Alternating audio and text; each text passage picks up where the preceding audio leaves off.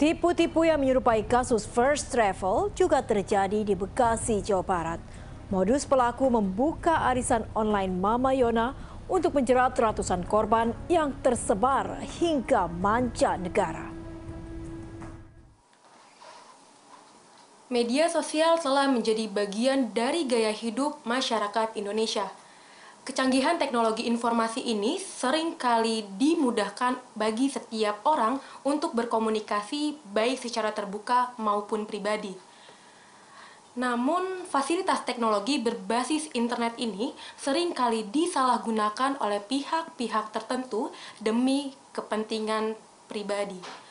Bahkan tidak sedikit dari para pelaku tindak kejahatan memanfaatkan media sosial sebagai wadah untuk mereka memperlancar aksinya demi keuntungan pribadi.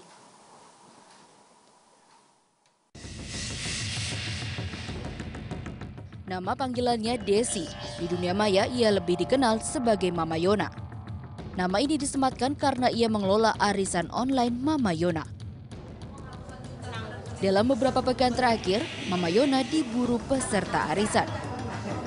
Di markas Polres Metro Bekasi Kabupaten, secara bergelombang korban mengadukan wanita bernama lengkap Desi Krisma Yuliani Sitanggang dengan sangkaan telah melakukan kejahatan bermodus arisan online.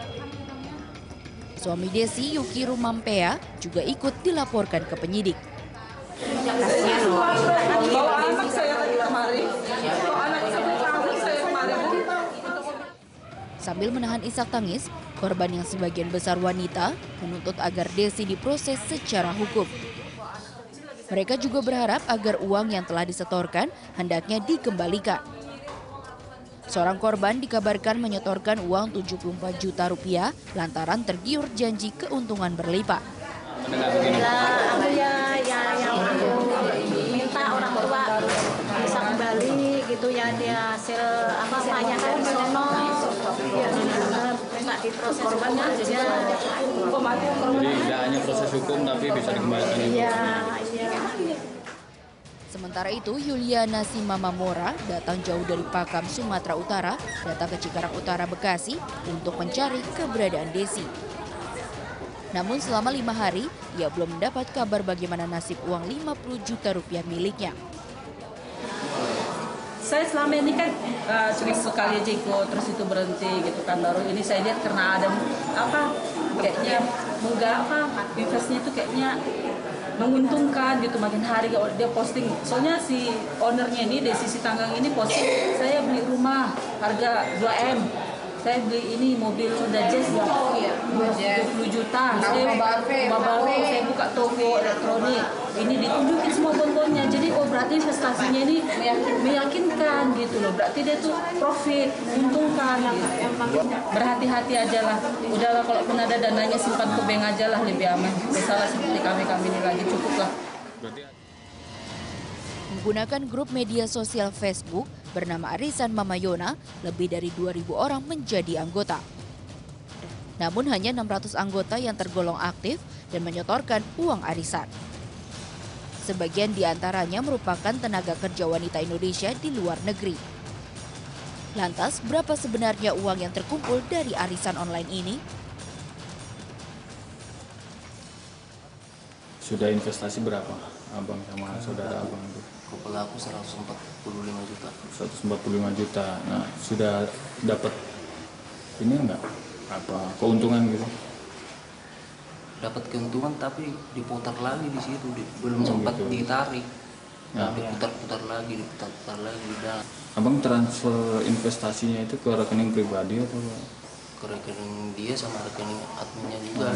bukan ke adik saya juga duit tiga orang itu bukan duit adik saya sendiri kalau seumpama sampai nggak kembali dia juga harus ganti rugi ke teman-temannya dia itu Berdasarkan gelar perkara kasus penipuan arisan online Mama Yona, penyidik menetapkan pengelola arisan sebagai tersangka penipuan.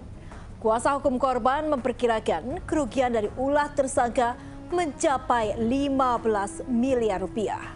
Tapi benarkah Desi beroperasi seorang diri? Kasus arisan Mama Yona yang menelan banyak korban membuat kepolisian melakukan penyelidikan secara maraton. 14 saksi yang merupakan korban arisan di grup Facebook pun telah diperiksa. Dari hasil gelar perkara, Polres Metro Bekasi Kabupaten menetapkan Desi Krisma Yuliani Sitanggang sebagai tersangka. Desi merupakan pemilik akun grup Facebook Mama Arisan sekaligus bandar arisan. Polisi juga tengah menyelidiki staf grup arisan ini sebab beberapa rekening milik mereka digunakan menerima transfer dari korban. Sudah melakukan gelar perkara terhadap eh, kasus ini, di mana kita sudah menetapkan tersangka daripada hasil gelar perkara tersebut atas nama DS. Satu orang pelaku dong, satu orang tersangka dong. Saat ini masih satu satu tersangka. Tiga hari sebelum Desi ditetapkan sebagai tersangka, toko elektronik miliknya di Jalan Raya Sukatani, Kabupaten Bekasi mendadak tutup. Di tempat usaha inilah, tersangka melayani pembeli yang jumlahnya membludak setiap hari Sabtu dan Minggu. Warga sekitar mengakui tidak mengenal tentang Desi karena pengelola arisan Mama Yona tersebut baru tinggal beberapa bulan di daerah ini. Agak biasanya ya nggak tiba-tiba nutup, kita nggak kaget. Katanya Natal, bilang kata orang Natal. Kata Natal. Iya, katanya baru itu hitam. Yang hitam itu. Mobilnya baru juga? Iya. Berarti mobilnya ada berapa semuanya? Tapi yang putih katanya mobil buat anu, cuma hitam doang, ganti itu. Ya, kapan beli mobil baru, Pak? Tapi baru mobil hitam. Baru ya? Iya. Baru beli? Iya. Katanya beli tuh, katanya ngatain tangganya tuh, ngomong baru itu iya, gitu. Jika benar dugaan uang korban mencapai 15 miliar, belum diketahui ke mana aliran uang hasil penipuan itu. Seperti penipuan bermodus multilevel marketing, peserta yang mendaftar di awal mengeruk keuntungan dari hasil setoran para korban yang muncul belakangan.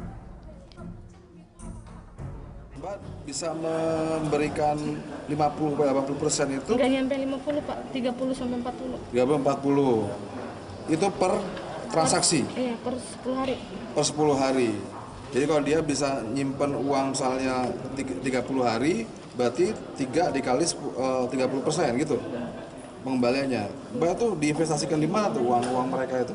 Kok bisa ngasih keuntungan sedemikian besar? Ya awalnya ada peminjamnya Pak gitu. Ter tapi karena udah banyak yang kabur gitu kan, jadi terakhir ya mulai gali lubang tutup lubang gitu. Iya lubang tutup lubang. Kan bank kan nggak nggak diinvestasikan apakah Enggak, di enggak. apa reksadana saham tuh nggak? Enggak.